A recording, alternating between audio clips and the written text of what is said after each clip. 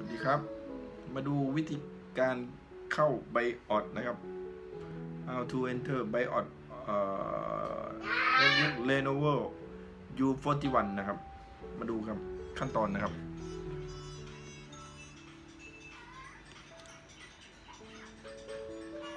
ให้ปิดเครื่องก่อน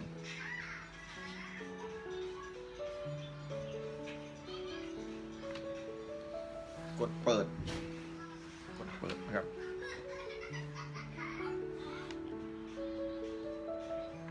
กดฟังก์ชันเลฟ12 นะครับ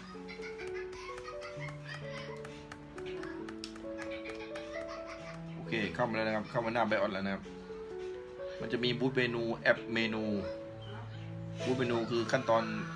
อของการบูตนะฮะ แต่เราเข้าไปแล้วแต่ว่าจุดประสงค์ของอของผู้ใช้จะ จะเข้าไปแก้อะไรนะครับ เดี๋ยวผมจะเข้าไปแก้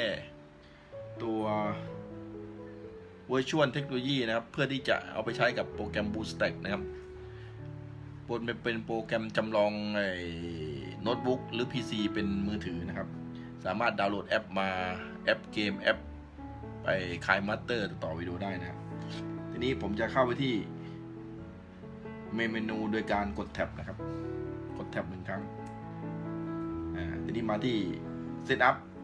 แอปเมนู Setup กับ Diagnostic Splash ผมเลือกเบอร์หนึ่งเพื่อเข้าไป Setup นะฮะตั้งค่านะครับกด Enter อ่าตอนนี้เข้ามาในหน้าหน้า BIOS นะฮะ มีข้อมูล Information Configuration Security Boot Exit นะครับ ก็ไปที่กดลูกศรนนะครับ ลูกศรทางขวา ไปที่หน้า หาคำว่า in a virtual technology นะครับ virtual technology นะตัวนี้ครับ เลื่อนลงไปข้างล่าง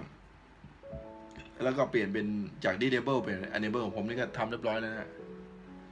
แล้วงั้นก็ออกออกก็กด F10 นะครับ F10 กดฟังก์ชันก่อนนะครับ ฟังก์ชันแล้วก็ F10 Setup Confirmation ก็ถามว่าจะ save save ที่เรา save ไปเมื่อกี้หรือเปล่าแล้วก็ exit ถ้าเราจะ save เราก็กด yes นะฮะเป็นการเรียบร้อยนะครับ ออกมาแล้วก็เครื่องก็บูตตามปกตินะครับ